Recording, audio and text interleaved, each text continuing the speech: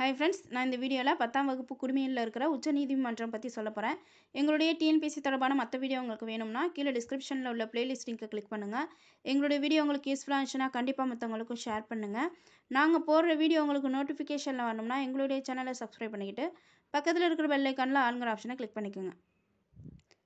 உச்சநீதிமன்றம் உச்சநீதிமன்றம் அமைப்பதற்கான சட்டப்பிரிவு என்னன்னு பார்த்தோம்னா நூற்றி இருபத்தி நாலு.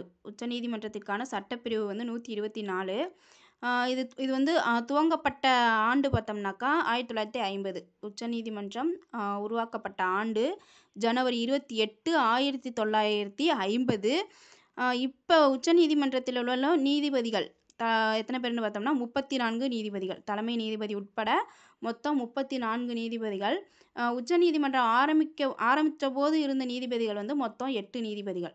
தலைமை நீதிபதி உட்பட எட்டு நீதிபதிகள் இருந்தாங்க. இப்போ வந்து முப்பத்தி நான்கு நீதிபதிகள் இருக்காங்க. உச்சநீதிமன்றத்தின் தலைமையிடம் பார்த்தோம்னா புதுடில்லி. இதால் முக்கியமான பாயிண்ட்ஸு உச்சநீதிமன்றம் உச்சநீதிமன்றத்திற்கான சட்டப்பிரிவு பார்த்தோம்னா நூற்றி இருபத்தி நான்கு. இந்திய அரசியலமைப்பு சட்டத்தின் பாதுகாவலன்னு உச்சநீதிமன்றத்தை சொல்கிறாங்க இந்திய அரசியலமைப்பு சட்டத்தின் பாதுகாவலன்னு யாரை சொல்கிறாங்கன்னா உச்ச நீதிமன்றத்தை சொல்கிறாங்க குடிமக்களின் உரிமைகளையும் சுதந்திரத்தையும் பாதுகாக்கிறதுல நீதித்துறை வந்து முக்கிய பங்கு வகிக்குது. அடுத்து பார்த்தோம்னா புதுதில்லியில் அமைந்துள்ள இந்திய உச்ச நீதிமன்றம் ஆயிரத்தி தொள்ளாயிரத்தி ஐம்பது ஜனவரி இருபத்தி எட்டு துவங்கப்பட்டது. இது பார்த்தோம்னா ஆயிரத்தி தொள்ளாயிரத்தி முப்பத்தி ஐந்தாம் ஆண்டு இந்திய அரசு சட்டத்தின் கீழ் நிறுவப்பட்ட கூட்டாட்சி நீதிமன்றத்தை தொடர்ந்து உருவாக்கப்பட்டது. இந்த உச்சநீதிமன்றம் பார்த்தோம்னா ஆயிரத்தி தொள்ளாயிரத்தி முப்பத்தி ஐந்தாம் ஆண்டு இந்திய அரசு சட்டத்தின் கீழ் நிறுவப்பட்ட கூட்டாட்சி நீதிமன்றத்தை தொடர்ந்து உருவாக்கப்பட்டது. ஆயிரத்தி தொள்ளாயிரத்தி ஐம்பதாம் ஆண்டு அரசியலமைப்பின் தொடக்கத்தில் ஒரு தலைமை நீதிபதி உட்பட எட்டு நீதிபதிகளை கொண்டிருந்துச்சு உச்சநீதிமன்றம். ஃபஸ்ட்டு தொடக்கத்தில் எட்டு நீதிபதிகளை கொண்டிருந்தது. இப்போ பார்த்தோம்னாக்கா ஒரு தலைமை நீதிபதி உட்பட முப்பத்தி நான்கு நீதிபதிகளை கொண்டிருக்கு. உச்சநீதிமன்றத்தில் இப்போ முப்பத்தி நான்கு நீதிபதிகள் இருக்காங்க. நீதிபதிகளை எப்படி நியமனம் செஞ்சு செய்கிறாங்க அப்படின்னு பார்த்தோம்னா தலைமை நீதிபதியை பார்த்தோம்னாக்கா குடியரசுத் தலைவர் நியமிக்கிறாங்க. மற்ற நீதிபதிகளை பார்த்தோம்னா தலைமை நீதிபதியை தலைவராக கொண்ட மூத்த நீதிபதிகள் குழுவின் ஆலோசனையோட குடியரசுத் தலைவர் வந்து நியமிக்கிறாங்க. தலைமை நீதிபதியை வந்து குடியரசுத் தலைவர் நியமிக்கிறாங்க.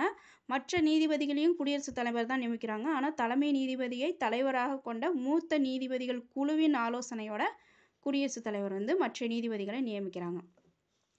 அடுத்து பார்த்தோம்னா உச்ச நீதிமன்ற நீதிபதிக்கான தகுதிகள் என்னென்ன அப்படின்னு பார்த்தோம்னாக்கா இந்திய குடிமகனாக இருக்கணும். ஐந்து ஆண்டுகள் உயர்நீதிமன்ற நீதிபதியாக பணிபுரிஞ்சிருக்கணும். பத்து ஆண்டுகள் வந்து உயர்நீதிமன்றத்தில் வழக்குரைஞராக செயலாற்றியிருக்கணும் அடுத்து பார்த்தோம்னா குடியரசுத் தலைவர் பார்வையில் சிறப்புமிக்க சட்ட வல்லுநராக இருக்கணும். இதுதான் வந்து தகுதிகள். உச்சநீதிமன்ற நீதிபதி ஆவதற்கான தகுதிகள். அடுத்து பார்த்தோம்னா பதவிக்காலம். உச்சநீதிமன்ற தலைமை நீதிபதி உட்பட இதர நீதிபதிகள் வந்து அறுபத்தி ஐந்து வதை அறுபத்தி ஐந்து வயது வரை பதவியில் நீடிப்பாங்க. அப்படி இவங்களா பதவி விலகல் செய்யணும் அப்படின்னாக்கா குடியரசுத் தலைவர்கிட்ட வந்து அவங்க பதவி விலகல் கடிதத்தை கொடுக்கலாம். அப்படி இல்லைன்னா பெருங்குற்றத்தின் மூலம் உண்டான கண்டன தீர்மானத்தின் மூலம் உச்சநீதிமன்ற நீதிபதிகளை வந்து பதவியிலிருந்து நீக்கும் அதிகாரத்தை வந்து நாடாளுமன்றம் பெற்றிருக்கு. உச்சநீதிமன்ற நீதிபதி நீதிபதிகளோட ஆஹ், பதவி காலம் பார்த்தோம்னா அறுபத்தைந்து வரை அறுபத்தைந்து வயது வரை அவங்க வந்து பதவியில் இருப்பாங்க.